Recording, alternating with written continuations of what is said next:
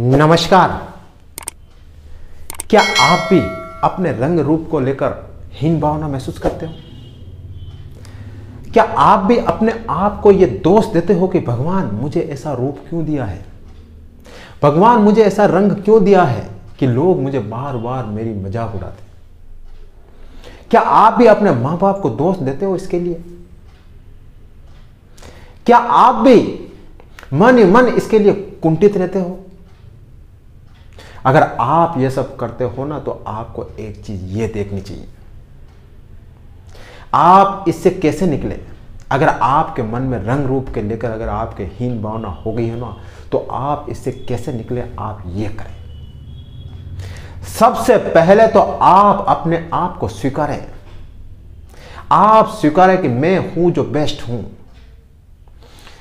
आपको जो भगवान ने जो रंग रूप दिया है ना, आप उसको बदल नहीं सकते हो। वो रहेगा।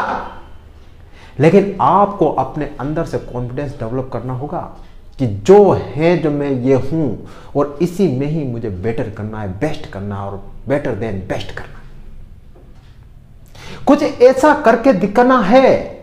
कुछ ऐसी एबिलिटी अपने अंदर डेवलप करनी है कि लोग आपकी वो एबिलिटी देखें, ना कि आपका रूप रंग देखें। और जब वो एबिलिटी आपके अंदर क्रिएट हो जाएगी, आपके अंदर डेवलप हो जाएगी ना, तब आपकी एबिलिटी ऊपर उठ जाएगी आपका रंग रूप नीचे रह जाएगा। आपके लोग लोग आपके एबिलिटी की तारीफ़ करेंगे, आपके रंग रूप को भूल जाएँगे। इसलिए अपने अंदर कुछ ऐसी एबिलिटी डेवलप करें और अपने अंदर कुछ कॉन्फिडेंस पैदा करें कि लोग आपकी कमज़ोरी को भूल जाए और आपकी ताकत को याद रखें। एक बात ध्यान रखना आप, इस दुनिया में ऐसे रंग रूप वाले आप अकेले नहीं हैं। हज़ारों लोग आपकी तरह हैं। लेकिन फिर भी वो ऊपर उठे और उन्होंने इतिहास लिखा। आपने धनुष का नाम तो सुना होगा, साउथ के सुपरस्टार, रजनीकांत के दामाद। उनकी मूवी देखी होगी और उनके ओरिजिनल फ़ोटो आपने देखे होंगे। क्या शक्ल है उनकी? पता है, जब वो शुरुआत में फ़िल्मों में आए थे ना, तब उनकी बहुत ही बेइज्जती हुई। इतनी बेइज्जती हुई कि कभी कभी तो वो गुट गुट कर रोते भी थे, उन्होंने इंटरव्यू में बताया था। लोग उनको ऑटो ड्राइवर कह के बुलाते थे कि यार ये किसी फ़िल्म का हीरो हो सकता है। नो नेवर ये तो ऑटो ड्राइवर हो सकता है। लेकिन फिर भी धनुष ने हार ना मानी। इंटरव्यू में एक वो वाक्य बताते हैं। कादाल कोंडन नाम की फ़िल्म की शूटिंग चल रही थी। जब लोग उनका मज़ाक उड़ाते थे ना तो वो बिल्कुल साइलेंट रहते थे। और इस फ़िल्म की जब शूटिंग चल रही थी, लोगों ने पूछा कि इसका हीरो कौन है?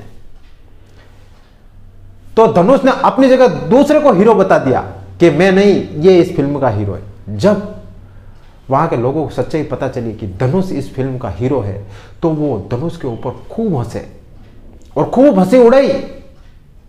धनुष को इतनी लज्जा हुई, वो कमरे में गए और फूट फूट के रोए।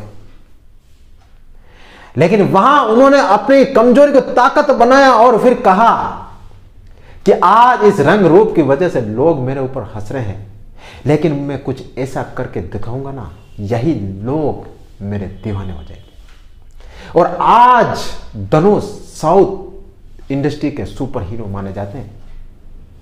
आज लोग उनके रंग रूप को नहीं देखते हैं। आज लोग उनकी एक्टिंग का लोहा मानते हैं। तो ये देखिए आप। भी अगर ये सोचते हो तो आपके अंदर भी कुछ न कुछ आपको एक्टिविटी आपको कुछ ऐसी एबिलिटी डेवलप करनी होगी कि लोग आपके रंग रूप को भूल जाए और आपकी एबिलिटी को याद रखें। एपीजे अब्दुल कलाम उनकी भी शक्ल सूरत का खूब मज़ाक उड़ा। लेकिन उन्होंने कभी कोई रेस्पॉन्स नहीं दिया। और वो जीवन में आगे बढ़ते रहे, आगे बढ़ते रहे। और रिज़ल्ट आपने देखा, भारत के राष्ट्रपति तक पहुँचे वो। इसीलिए आपके ऊपर अगर कोई लोग मज़ाक उड़ा रहे हैं, कोई आपको अगर हीन भावना से ग्रसित कर रहा है तो आप उसके ऊपर ध्यान न दें। अपनी एबिलिटी डेवलप करें।